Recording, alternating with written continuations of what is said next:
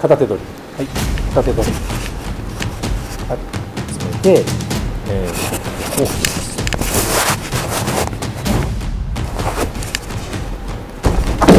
相手に持たせておくんです。離せばいいと思うんですけどなかなかこれは離せない。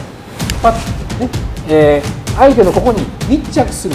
どこに密着するかというとこの母子球と小子球の間にこれ谷間があるでしょここにピタッとこうくっつくんですでその時にここを柔らかくする。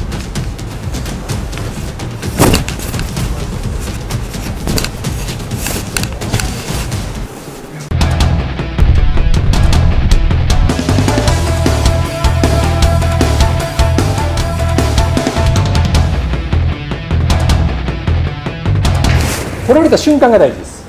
ピラッパッパッ。こういうふうに入ってください。この手を相手がずっとこうくっついたかのように、え持っててくれます。自分から持っていってるわけですからパッとこう離さへんのです。その人間の心理的規制を利用した技やと思ってください。自分から掴みに行ってる。取り手側の立場から言うとこの掴みに行ってくれてるこれは自分にとって有利だっていうふうに考えるわけ。そのために掴ませておくわけです。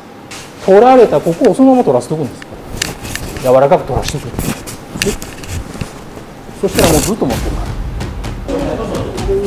ら。あこれがねですからちょっと脇が開いてしまう、すり上げっていうのは体の中心から出してましたからずっと、あのちょっとわあ開きますけども真ん中から出してください。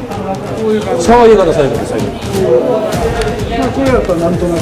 そうそうそう手がプルプルプルってなってますからもうちょっとやらやらなくていい手の甲で押し上げるんじゃないやっぱりこの刃を使ってるんです刃を使ってください。それそしてこの刃はどこから出てるかというと自分の体の中心から出てるんです。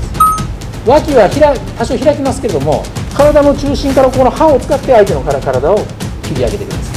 体からすり上げる。すり上げた先少しこう脇は開きますけども必ずこの刃を使って相手の体を切るというところは踏襲してください。うん、そうだ。ああ、そう。そう。そう。ここ下げないで、そのまま入ってき、そのままこの横に。おお。こう。ですね。そう。です。で、こう。ああ、すごい。こう。いう。これもっとこっちだと思っ。